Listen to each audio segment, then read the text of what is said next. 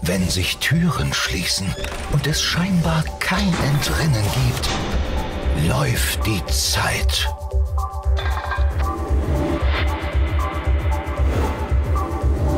Exit.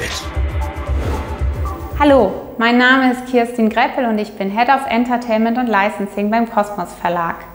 Sie haben es gesehen, Exit, das ist es, worum es heute geht und ich freue mich sehr, dass wir Ihnen Titel aus unserer Exit-Reihe vorstellen dürfen. Exit ist für uns eine ganz wichtige Marke geworden, eine sehr besondere Marke, denn es ist einer der großen Wachstumstreiber bei Cosmods. Wir haben 2016 das erste Exit-Spiel rausgebracht, seitdem mehr als 10 Millionen Spiele verkauft weltweit, denn wir sind in 27 Ländern aktiv mit der Marke und haben mittlerweile auch ein sehr großes, breites und erfolgreiches Buchprogramm am Markt etabliert.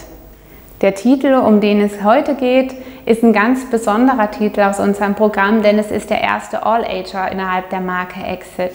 Es geht dabei um den Fall des Ryan Creed. Ryan Creed ist ein begnadeter Kryptograf, der für ihn ganz unerwartet und unter mysteriösen Umständen beauftragt wird, nach einer seltenen Goldmünze zu suchen. Der geheime Auftraggeber stellt ihm eine taffe junge Frau zur Seite, Sarah, die sich mit ihm zusammen ins Abenteuer stürzt und die wir eben dabei auch begleiten dürfen.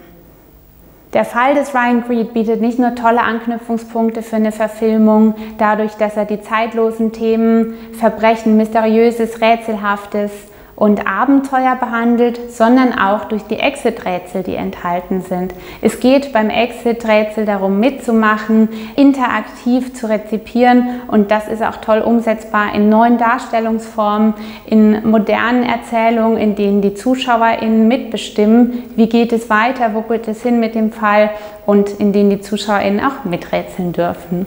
Wir hoffen, Ihre Neugier geweckt zu haben und wir freuen uns auf weiterführende Gespräche.